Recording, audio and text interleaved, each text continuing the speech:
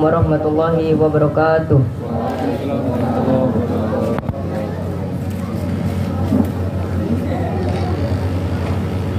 أعوذ بالله من الشيطان الرجيم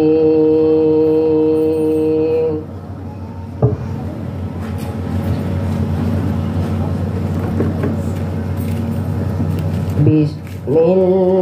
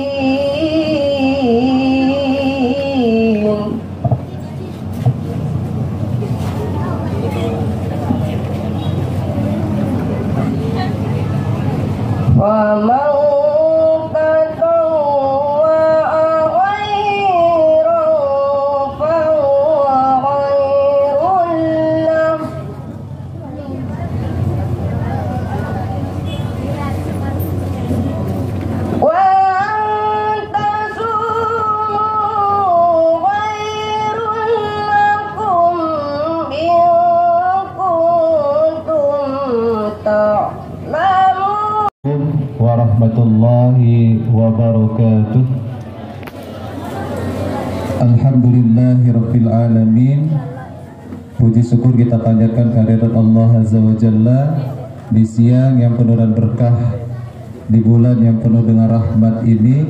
Kita diberikan oleh Allah Subhanahu wa Ta'ala banyak sekali nikmat. Salah satunya Allah Subhanahu wa Ta'ala masih memberikan kita nikmat keimanan nikmat kesehatan dan nikmat kesempatan. Sehingga kita semuanya dapat hadir dalam rangka pembukaan acara Gebiar Ramadan tahun 1444 Hijriah yang dilaksanakan oleh Ikatan Remaja Masjid Kabupaten Ogan Komulu Selatan. Selanjutnya bersalawat kita kepada Nabi kita Muhammadin Sallallahu Alaihi Wasallam. Semoga kita semuanya telah akan mendapatkan syafaatnya di Yaumul Qiyamah. Amin ya Rabbal Alamin yang kami hormati Bapak Bupati Kabupaten Ogan Komolu Selatan yang dalam hal ini, hal ini diwakili oleh Bapak staf ahli bidang kemasyarakatan Bapak Ahmad SPDMM yang kami hormati Bapak Bapak Kesra Alhamdulillah terima kasih. Pak Ruswani sudah hadir dengan kami pada kesempatan siang hari ini. Yang kami hormati Bapak Camat Kecamatan Muara II terima kasih Pak sudah hadir. Kemudian yang kami hormati Bapak Kepala Kantor Urusan Agama Kecamatan Muara II orang tua kami Pak, Pak Adroniati, terima kasih sudah hadir Pak. Yang kami hormati Bapak dari kepolisian, terima kasih Pak sudah hadir di tengah-tengah kami pada kesempatan siang hari ini. Yang kami hormati, ini juga orang tua kami. Kalau ada apa-apa ngadunya ke beliau nih lah, Pak Putra Bani, Ketua Pengurus Masjid Agung Al Mutadin. Terima kasih Pak sudah hadir. Ada juga senior-senior kami, Alhamdulillah terima kasih hadir Kak Tony, hadir juga uh, Ustadz Hendra Joneta, Ketua DPD BKPRMI Kabupaten Oku Selatan. Saya sangat uh, berbangga diri pada kesempatan sore hari ini, orang-orang baik, orang-orang soleh hadir di tengah-tengah kita. Selamat datang Bunda kami, Bunda Zahra. Terima kasih juga sudah hadir di tengah-tengah kami pada kesempatan sore hari ini. Dan yang tidak kalah penting, kawan-kawan seperjuangan, kawan-kawan pengurus daerah Ikatan Remaja Masjid Kabupaten Ogan Komoro Selatan, beserta kawan-kawan DPD BKPRMI Kabupaten Ogan Selatan yang dirahmati Allah Subhanahu wa taala. Selanjutnya yang kami cintai seluruh peserta, adik-adik baik yang lomba tausiah atau dai, lomba mewarnai, lomba azan maupun lomba nasyid yang berkesempatan hadir pada kesempatan sore hari ini. Perlu kami sampaikan kepada Bapak Bupati Kabupaten Ogan Komoro Selatan, ini agenda tahunan kami Irma, Pak. Jadi setiap tahun kami adakan kegiatan ini. Awalnya dulu namanya Gema Nada Ramadan. Kami laksanakan di taman di depan Masjid Al Falah. Nah, cuman karena kami bentuk Irma Kabupaten, sekarang tiga tahun ini kegiatannya sudah kami pusatkan di Majelis Islamic Center ini. Alhamdulillah, setiap tahun kami mengalami peningkatan uh, peserta maupun peningkatan kualitas kegiatan. Kalau biasanya kami melaksanakan di emperan-emperan, di ruang-ruang yang kira-kira bisa kamu pakai, Alhamdulillah tahun hari ini walaupun masih dengan tempat yang sangat sederhana, kami sudah bisa negak ke tenda di sini Pak. Dan memang impian kami kami pengen masjid ini bukan cuma terlihat sebagai tempat pusat ibadah, tapi kami pengen juga masyarakat melihat bahwa masjid ini juga sebagai tempat eh, kegiatan-kegiatan lainnya yang bernuansakan Islami. Maka kami sampaikan kepada Bapak Bupati yang dirahmati Allah Subhanahu wa taala, alhamdulillah tahun ini kami bisa melaksanakan kegiatan lomba-lomba yang terdiri dari lomba dai atau lomba tausiah, lomba azan tingkat remaja maupun anak-anak, lomba nasyid dan lomba mewarnai. Bapak Bupati yang dirahmati Allah, kenapa kami angkat lomba ini, Pak? Karena mohon maaf Pak, lomba ini adalah lomba yang belum tercover oleh pemerintah kita. Jadi kalau SDQ itu kan ada uh, Hibzil Quran, Tilawatil Quran, Tartil Quran, MTQ juga ada seperti itu. Tapi untuk lomba azan, lomba tausiah, lomba nasyid itu memang belum ada. Jadi kami berusaha membantu pemerintah untuk mengambil bagian uh, mensiarkan uh, nuansa apa itu apa kebudayaan-kebudayaan Islami karena terus terang saja ini Pak Kabak Kesra, Pak Camat, Pak Bupati, Bapak yang lain kami dai ini merasa juga kekurangan Pak, kekurangan generasi penerus. Ustadz Hendra itu semalam kadang empat ikut jadwalnya bertumburan. Ustadz Tony juga cak itu, saking krisisnya kita dai. Jadi kami harapkan anak-anak yang menang lomba dai tahun hari ini akan kami promosikan di masjid-masjid, di musola-musola, kalau ada kegiatan-kegiatan dan itu sudah kami lakukan, Pak. Jadi di Irma itu sudah ada berapa generasi kami yang sudah bisa kami promosikan. Jadi kalau kami ada jadwal tumburan, kami serahkan ke generasi-generasi uh, kami ini. Maka kami pengen tumbuh generasi-generasi yang siap mendakwahkan ajaran agama Islam ini. Kemudian lomba nasyid.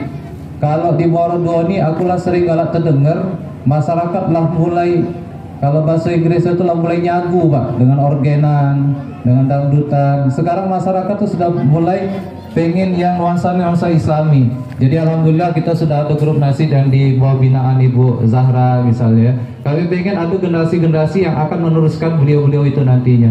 Maka kami pengen mengenalkan bahwa ada kesenian yang bernuansa islami yang bisa juga dipakai untuk ngisi-ngisi kegiatan uh, di acara-acara walimahan.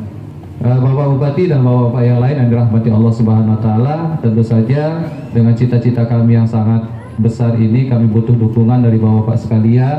Kami alhamdulillah untuk kegiatan tahun ini Pak kami sampaikan beberapa surat cinta kepada beberapa orang yang kami tuju. Dari beberapa surat cinta yang kami tuju itu beberapanya tidak berbalas dan alhamdulillah dua orang berbalas dan itulah yang menjadi modal utama kami untuk melaksanakan kegiatan tahun hari tahun ini di sini. Sebenarnya trofinya sudah kami beli tapi tadi tidak kesempatan lagi ngangkutnya ke sini Pak. Alhamdulillah. Jadi kami eh, tahun ini alhamdulillah bisa mengadakan kegiatan ini itu berkat bantuan dari para donatur sekalian. Jadi kami tidak menutup kemungkinan tahun depan nak nyusahi Bapak Bupati, Pak Kabak Kesra untuk kegiatan-kegiatan ini. Selanjutnya yang terakhir kami mohon nanti bimbingan dan arahannya dari Bapak Bupati atau yang mewakili sekaligus nanti membuka secara resmi kegiatan ini. Insya Allah Pak lombanya kita mulai besok. Jadi besok itu besok pagi itu lomba azan, siangnya lomba nasyid, hari Ahadnya lomba tausiah, sore Ahad itu langsung acara penutupan.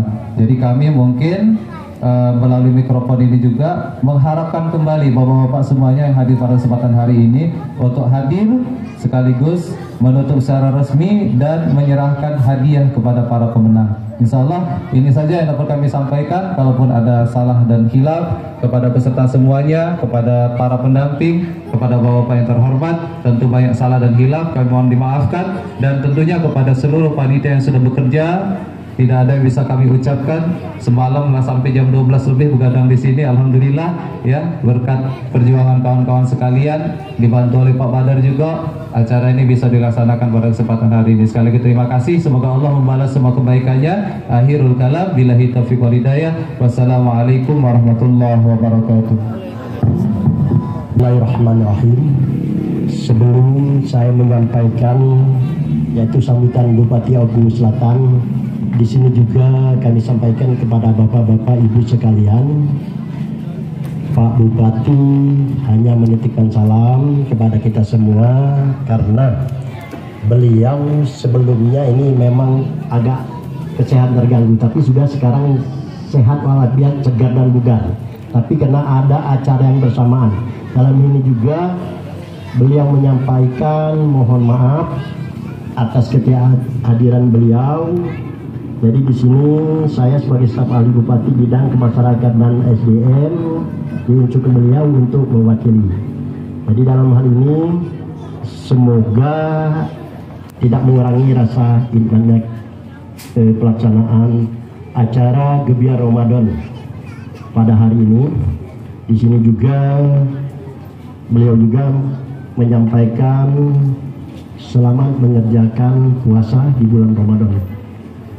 Selanjutnya untuk Irma Kabupaten Ogon Komering Selatan khususnya yaitu Masjid Al Muhtadin kami ucapkan sukses dan jaya selalu. Amin. Baiklah kami sampaikan sambutan Bupati Ogan Komering Ulu Selatan pada acara pembukaan Gebiar Ramadan tahun 1444 Hijriah. Muara 2 14 Maret tahun 2023 Assalamualaikum warahmatullahi wabarakatuh. Pertama-tama yang saya hormati para Forkompinda Kabupaten Ogan Komering Selatan Alhamdulillah pada saat ini diwakili oleh Kapol dihadiri oleh Kapolres Ogan Komering Ulu Selatan dalam hal ini diwakili oleh AKP Ahmad Bastari berserta anggota. Terima kasih Pak, selamat datang. Selanjutnya para pejabat di lingkungan pemerintah Kabupaten Ogan Komering Ulu Selatan yaitu Camat Meradua ini junior saya ini ya, Pak Epan SH Selanjutnya yaitu Kabak Kesra Kabupaten Ogan Komering Selatan Pak Usmani SP MM Selanjutnya yang saya hormati pimpinan instansi vertikal di wilayah Kabupaten Ogan Komering Selatan dan saya hormati para dewan juri Gebiar Ramadan 1444 Hijriah tahun 2023 yang kami banggakan para peserta Gebiar Ramadan. Selanjutnya yang saya hormati para ketua organisasi, tokoh adat, tokoh masyarakat, tokoh agama, tokoh wanita, tokoh pemuda, alim ulama, cerdik pandai, para undangan yang berbahagia. Di sini juga yaitu kami lihat Ketua BKPR MI yaitu Endar Joneta. Selanjutnya Ketua Masjid Al Muhtadin. Ini walaupun bagaimana bentuknya Pak Kapolres. Ini junior saya juga ini. Pak Putra Bani. Selanjutnya Jadi senior lah. Kalau jadi bupati. Di sini kami sampaikan juga yaitu para undangan sekalian dan di sini kami tidak puji dan syukur kehadirat Allah Subhanahu mengiring kita ke jalan yang baik dan benar. Bapak dan Ibu, adik-adik peserta hadirin yang saya hormati.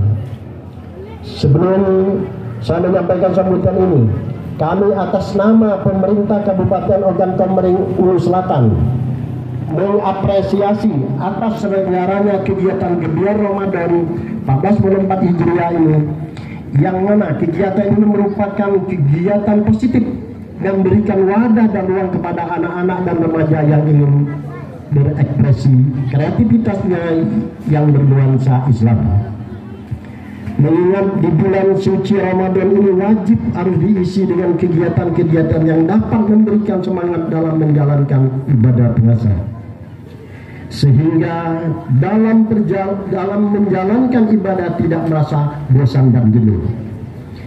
Adapun rangkaian kegiatan ini seperti yang tadi sudah disampaikan oleh Ketua uh, Irma Kabupaten Selatan yaitu di antaranya kalau tidak salah sini lomba dai, lomba nasib, lomba azan dan lomba mewarnai.